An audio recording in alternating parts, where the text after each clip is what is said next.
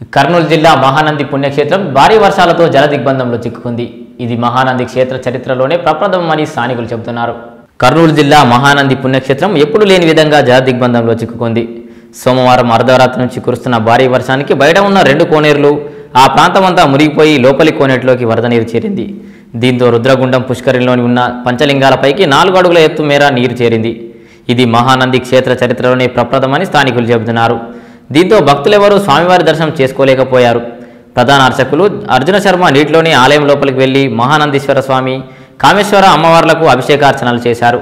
క్షేత్రంలో నీరు మోకాల ఎత్తుకు పైగా ప్రవహించడంతో పరిసరాల్లో కూడా భక్తులు నిలవడానికి వీలు లేకుండా పోయింది.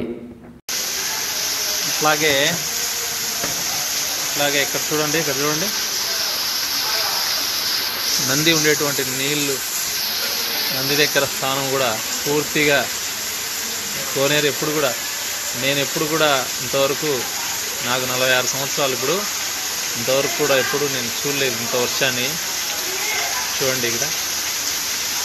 పెద్ద కోనేరు పూర్తిగా మునిగిపోయింది.